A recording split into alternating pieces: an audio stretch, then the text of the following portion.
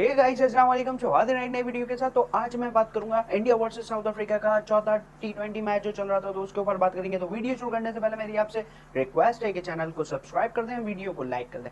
तो भाई, आज इंडिया ने जो परफॉर्म दिया है, आज जिस तरीके से उनके बैटर्स ने जिस तरीके से बैटिंग करी है तो मैं कहता हूँ कि आज जितनी तारीफ़ करी जाए टीम इंडिया की, वो कम है, क्योंकि आज टीम इंडिया के ओपनर बैट्समैन संजू सैमसंग ने जो है भाई बहुत शानदार बैटिंग खेली। उसने 109 रन की बहुत जहराना बैटिंग खेली।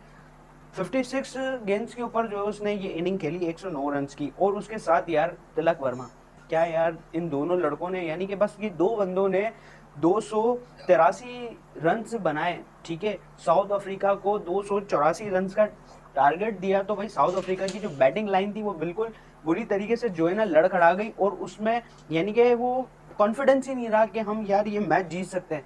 सही है ग्राउंड की कंडीशन ये थी कि ग्राउंड छोटा था स्कोर इधर ज़्यादा हो सकता था, मगर जो साउथ अफ्रीका की बैटिंग लाइन थी, वो बिल्कुल बुरी तरीके से डिस्टर्ब कर दी।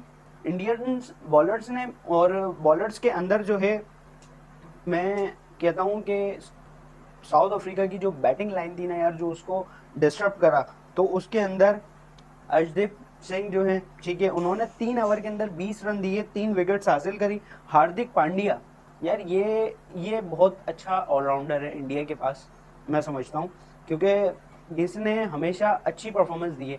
आपको शायद याद होगा कि ICC T twenty World Cup हो रहा था। लास्ट ओवर हार्दिक पांड्या को दिया उस पर यानी कि कैप्टन का बिलीव था कि यार ये अच्छा ओवर करवाएगा। और आप ये देखें कि उसने अच्छा ओवर करवाया और उसने जो है टीम इंडिया को जो है वर्ल्ड चैंपियन बनवाया टी ट्वेंटी वर्ल्ड कप जितवाया। तो भाई इधर भी हार्दिक पांड्या ने जो है तीन ओवर्स के अंदर जो है आठ रन दिए और एक विकेट हासिल करी। इसके अलावा भाई अक्षर पटेल सही है। अक्षर पटेल भी इनके जो है अच्छे बॉलर हैं। अक्षर पटेल ने दो ओवर के अंदर छः रन देके दो विकेट्स हासिल करी और रवि बिश्नोई ने तीन ओवर के अंदर अट्ठाईस रन देकर एक विकेट्स हासिल करी। तो भाई, अगर बात करी जाए तो साउथ अफ्रीका की पूरी टीम को 148 रन के ऊपर जो है ना ढेर करके रख दिया। वो तो साउथ अफ्रीका के डेविड मिलर थे, जो कि उन्होंने थोड़ा बहुत स्कोर कर दिया। वरना तो मुझे नहीं ऐसा लग रहा था कि साउथ अफ्रीका जो है, वो डेढ़ सौ रन भी करेगा। क्योंकि भाई, साउथ अफ्रीका की कंडीशन ऐसी हो गई थी कि पहले अवर्स से लेके और फिर उसकी जो है ना विकेट्स स्टेप बाय स्टेप जो है, उसकी विकेट्स गिरती नहीं। और इंडिया जो है, वो इंडिया की यानी कि जब साउथ अफ्रीका की विकेट्स गिर रही थी तो इंडिया की जो है ग्रिप मज़बूत होती गई। और इंडिया ने जो है बासानी उसे 135 रन से जो है ना शिकस्त दे दी और ये जो टी ट्वेंटी सीरीज़ थी अपने नाम करिए। थ्री एक से जो है साउथ अफ्रीका से ये सीरीज़ जीती।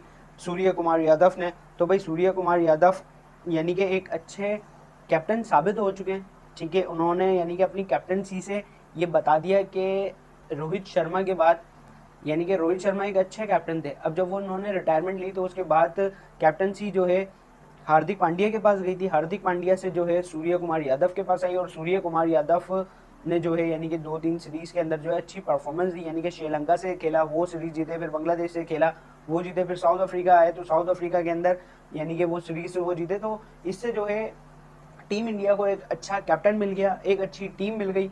जबकि देखें, जब आपकी टीम के कोई सीनियर प्लेयर यानी कि एकदम से रिटायरमेंट शॉक अनाउंस कर दें, यानी कि अब किसी को भी ये चीज़ मालूम हुई थी कि रोहित शर्मा जो है S T twenty World Cup के अंदर चले जाएगा। मगर जब उसने अनाउंस करा तो भाई फिर जो है उनके बोर्ड ने और मैं कहता हूँ इसके अंदर गौतम गंभीर का भी जो है काफ़ी क्रेडिट क्रिएट जाता है कि उसने टीम को जो है यानी कि मेरिट के ऊपर सिलेक्शन करा और बंदों को जो है यानी कि सिलेक्ट करा कि भाई हाँ ये बंदा जो है इस टाइम पे टीम इंडिया के लिए सुटेबल है। तो भाई ओवरऑल जो है टीम इंडिया ने बहुत अच्छी परफॉर्मेंस दे रहा है टीम इंडिया और आइंदा भी जो है इसी तरीके से जो है टीम इंडिया परफॉर्मेंस देता रहेगा। तो ये मिलता है हम लोगों से एक नई वीडियो के साथ। तो चैनल को सब्सक्राइब कर दिएगा वीडियो को लाइक कर दिएगा मिलते हैं नई वीडियो के साथ। अल्लाह हाफिज़।